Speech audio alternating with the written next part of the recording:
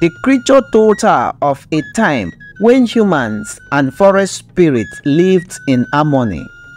A tale from an age before kings walked on the earth. But a cruel chieftain had betrayed their trust, and a sorceress laid a curse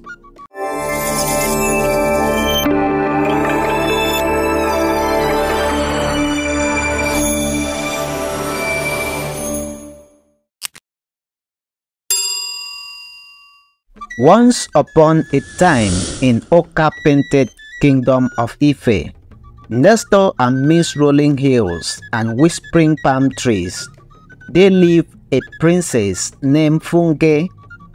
Her beauty was like the first sunrise, breathtaking and radiant. Suitors from distant kingdom flocked to her father's court, bearing ivory tusks beaded necklaces, and songs of adoration. But Funke, the vibrant princess, refused them all.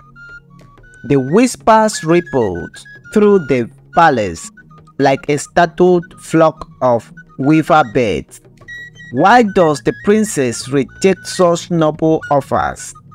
The queen mother fretted, wringing her hands what flaw does she find in men so brave and strong? King Adewale, his voice won like the smooth stones of the Osun River, struck his salt and pepper beard. A princess must choose with wisdom, not just haste, he would say, but his eyes held a flicker of concern. Funke overheard their worries. Her heart was a drumbeat of guilt and an even stronger, secret determination. You see, she carried a hidden oath, a burden forged in childhood. Years ago, when she was but a maiden, Funke had discovered a clearing deep in the royal forest. It shimmered with wildflowers and the emerald eyes of darting lizard. Here, sunlight felt like a blessing, and a waterfall tumbled over moss-covered rock. Its music as sweet as honey. One afternoon, drawn by a haunting bird song, Funke strayed further than before. Deep within the glade, she spied a creature unlike any she had ever seen. It resembled a man, yet its skin was scarred like a pangolin, and iridescent wings sprouted from its shoulder. His eyes were pools of liquid gold, filled with an ancient, etching sorrow. Terror and wonder whirled within Funke. Before she could move, the creature spoke, his voice a melody of rustling leaves. Please do not fear me, princess. Slowly, Funke approached. Who? What are you? She stammered. I am a spirit of this forest. He said, his voice laced with a deep melancholy, bound here by a promise broken long ago. The creature told her of a time when humans and forest spirits lived in harmony. A tale from an age before kings walked on the earth. But a cruel chieftain had betrayed their trust, and a sorceress laid a curse. The spirit now existed as being in between, tied to the land they once shared. Each full moon, the forest spirit mourned, I must witness the echoes of the betrayal but heartbreak anew. Tears welled in Funke's eyes. If only I could help. The spirit golden eyes held hers. Perhaps one day a woman of courage could break this curse. But the path is perilous and full of sacrifice. Young Funke did not hesitate. I swear, she declared, a small voice echoing in the glad. I will find a way to free you. I vow that I will never belong to any man until this curse is broken. The spirit regarded her with a poignant mix of hope and pity. You are a kind soul, princess. May the ancestors guide you. From that day, Funke became a woman haunted by two worlds the vibrant palace life and the whispering secret of the forest. She studied crumbling scrolls, sought advice from grizzled hunters, and learned the language of moonlight and bird song. The suitors came, warriors with lion hearts, poets with tongues sweeter than sugarcane, and princes who promised her half their land. Funke would listen patiently, admire their bravery or wit, but her answer was always the same. My heart, she would gently tell each one, belongs elsewhere. The whispers around her grew harsher. Ungrateful, some muttered, She shamed our kingdom. Others pitied her, calling her mad, claiming her enchantment was her own stubborn pride. None but the soft-eyed king seemed to suspect there was more to her refusals. One morning, an elder from a distant village arrived at the palace. He was wizened as an old tortoise, and his eyes crackled with a sharp light. I have heard of the princess who denied suitors. He told the king. She carried a heavy burden. Perhaps I can help. Funke was summoned. A step heavy. The elder observed her keenly. Child, there is a knot in your spirit, like a tangled vine. It chokes your joy. Tears stung Funke's eyes, but she held them back. The elder was right. Her secret oath had bound her, turning her very existence into a quest.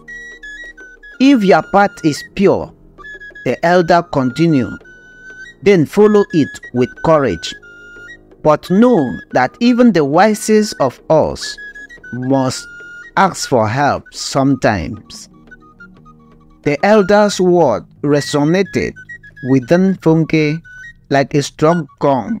While determined, she had felt desperately alone. She sought him the next day in his simple hut in the outskirts of the village.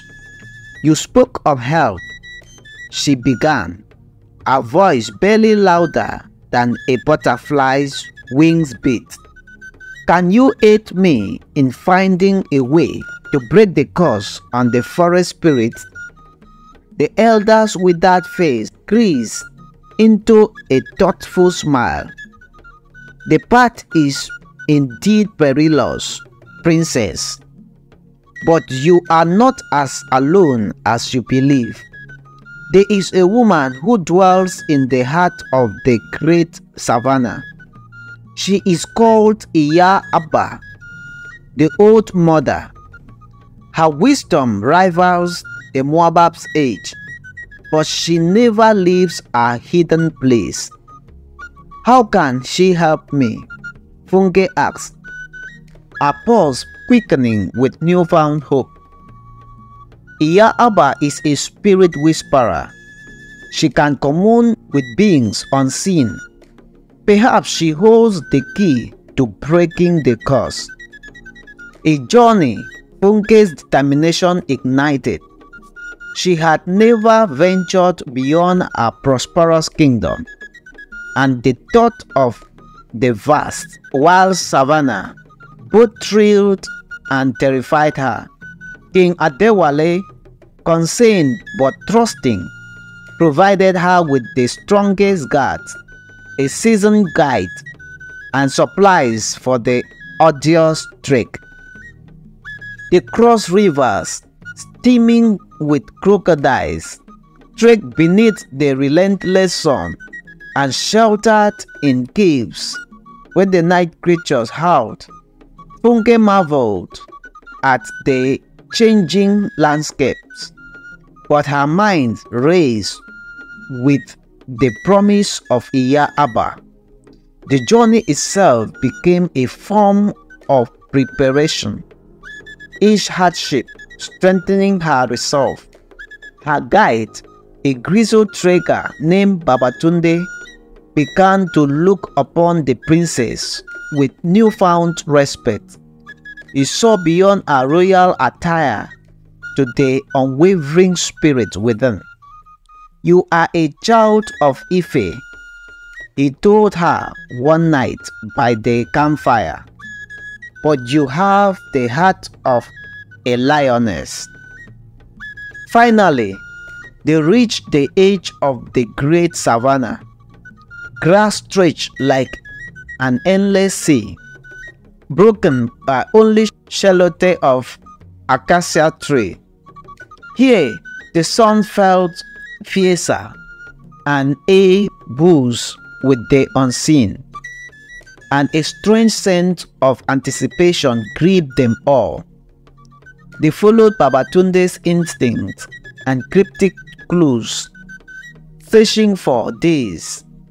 Funke's strength began to waver. Was this a fool's errand? Yet, just as doubt threatened to consume her, they stumbled upon a place unlike any other. The savannah seemed to bow in reference, parting to reveal a circle of ancient standing stones. At the center grew a single baobab tree, its enormous trunk resembling an elephant's height, its branches reaching like arms to the heavens. We go no further, Babatunde declared, a tremor in his usually gruff voice. This is the dwelling place of Iya Abba. Funke's heart pounded like a war drum, with her guard waiting anxiously at the edge of the circle. She stepped forward alone. Silence descended, broken only by the rustling of leaves in a wind that seemed to emanate from the tree itself. Iya Abba, Funke called, a voice trembling slightly. I have sought you, crossing rivers and plains. Please help me. No answer came, only the gentling swaying of the baobab's branches. Funke sat cross-legged beneath the ancient tree, waiting. She waited as the sun dipped below the horizon, waited as the moon bathed the stone in an ethereal glow, waited until her eyelid threatened to betray her.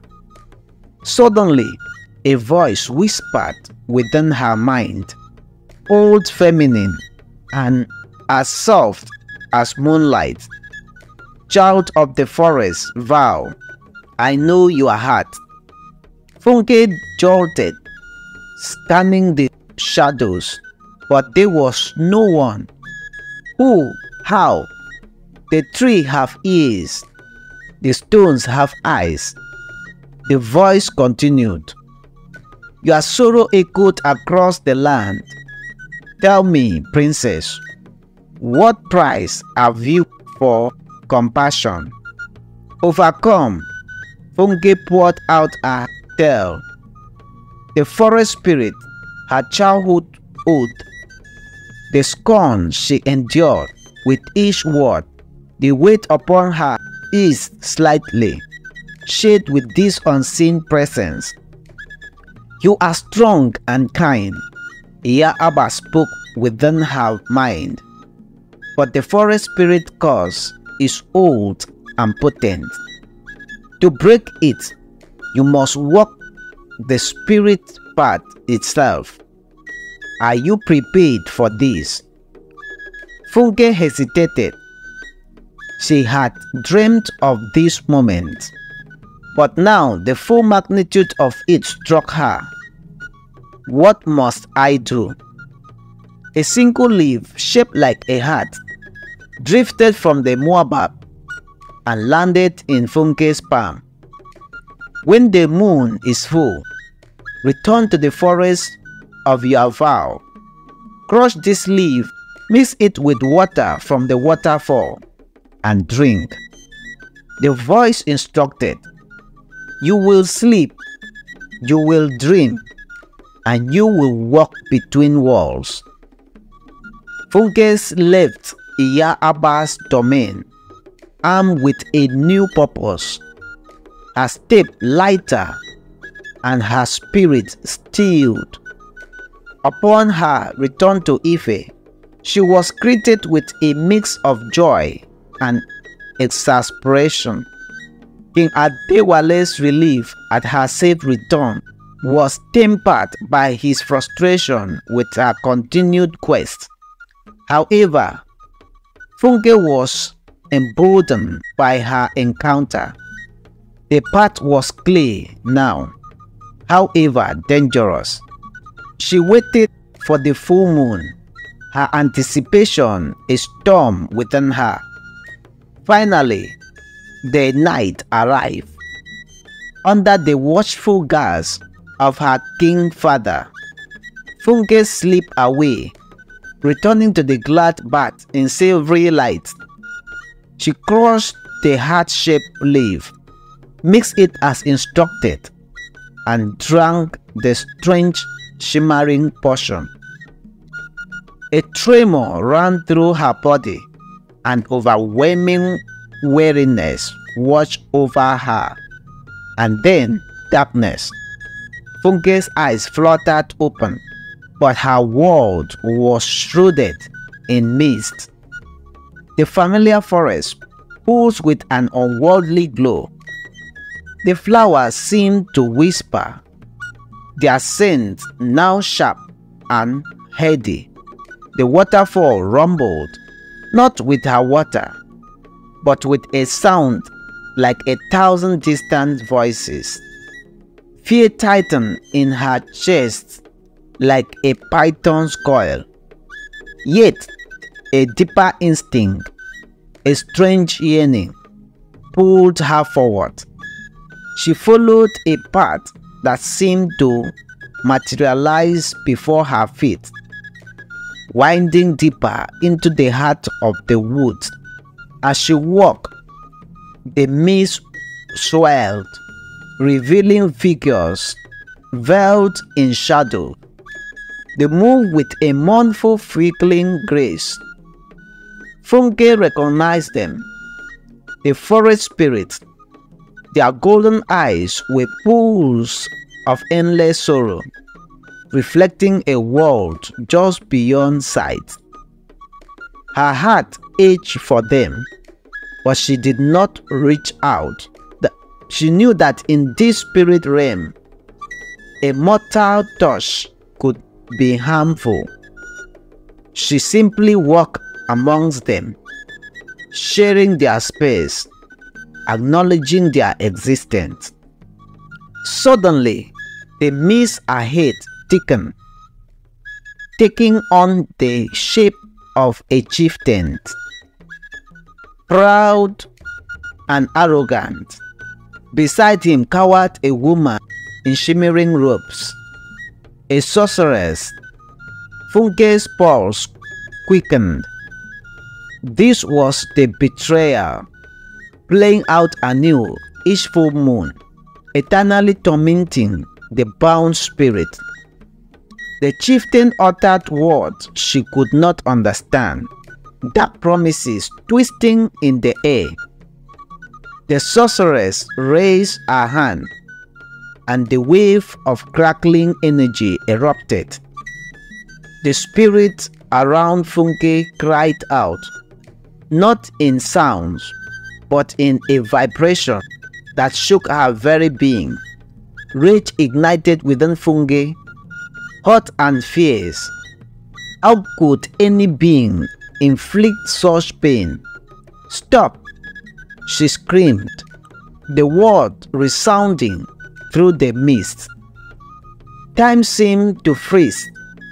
The chieftain and sorceress turned their spectral eyes fixed upon her. The ground beneath her feet felt unsteady, threatening to resolve into nothingness. I will not allow this, she cried again. Her voice held a strength she never knew she possessed. A tremor ran through the spirit realm. The mist began to churn. The chieftain's image wavered. He opened his mouth as if to speak, but no sound came forth. The bound spirits stayed, their golden eyes blazing with a flicker of hope. Then, with a sigh, like the rustling of a thousand ancient leaves. The scene dissipated. The mist swelled around Funke, blinding and disorienting her. She stumbled and fell, her world fading to black once more. When Funke awoke, the sun dappled the forest floor as it always had. Bird song sounded sweet and normal, a stark contrast to the haunting echoes of her dream journey. Slowly, she stood, every muscle, her heart pounding with mixed dread and exhilaration. She had done it. She had walked the spirit path, witnessed their pain, and somehow, however briefly, her presence had disrupted the curse's power. A tremor of joy rippled through her. Yet, as she made her way back to the clearing, she knew it was not over. She could feel a residue of the old magic, thin but still clinging to the forest. Back at the palace, Funke found King Adewale waiting anxiously. When she recounted her experience, his face held a mixture of awe and paternal concern. My daughter, he said, taking her hand in his. You have showed that more than any princess should.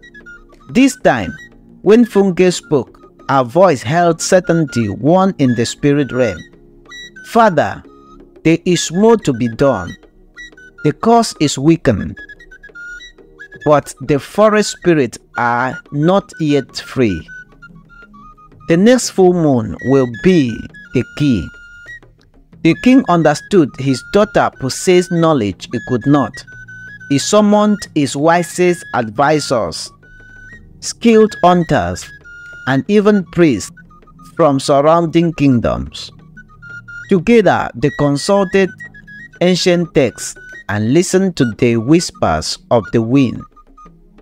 When the full moon rose, Funke, accompanied by her father, a small band of chosen warriors, and the village elders, returned to the forest. The elders had discovered a ritual half forgotten in time, an offering meant to appease restless spirits. They brought honeycomb, their sweetness a tribute to the forest bounty, a bowl of pure spring water, a symbol of cleansing. Together they perform the age-old ritual, their voices weaving with the rustling leaves and the waterfall's eternal song. As the final incantation left her lips, a change swept through the clearing. The air thrummed with an expectant energy. The ground itself seemed to exhale, releasing a weight carried for centuries. Suddenly, the forest spirit shimmered into full view. Their scarlet skin glowed, their wings unfurled in all their iridescent glory. The golden pools of their eyes, once filled with sorrow, now brim with a heartbreaking gratitude. The forest spirit who had spoken to Funke so long ago stepped forward. You have released us, princess. He said, his voice no longer one echoed of sadness, but rich with a vibrant new life. Our eternal torment has ended. One by one, the spirit bowed to Funke. Then, with a shimmering rush of wings, they ascended into the moonlit sky, their forms dissolving into stardust. Tears of joy streamed from Funke's face. Her oath, the burden she carried for so long, was lightened. The vibrant princess, so often misunderstood, had become a savior. As they trek back, the forest itself seemed to celebrate. Bird song rang sweeter, sunlight seemed brighter, and a gentle breeze carried the scent of wildflower a blessing upon the princess' path. Back in Ife, the kingdom rejoiced. Suitors once again flocked to the palace, but this time, Funke held her head high. She could now choose, not if she ever could, but to whom she would give her heart. And so the princess who refused suitors became the princess who found love on her own terms. The princess who saved an enchanted forest. Her tale became legend, whispered among the market stalls, carried on the river breeze, and sung by starling at twilight, a testament of courage, compassion, and the secret oath that shaped our destinies. Thank you very much for viewing. Please subscribe to our channel to have access to more beautiful stories like this.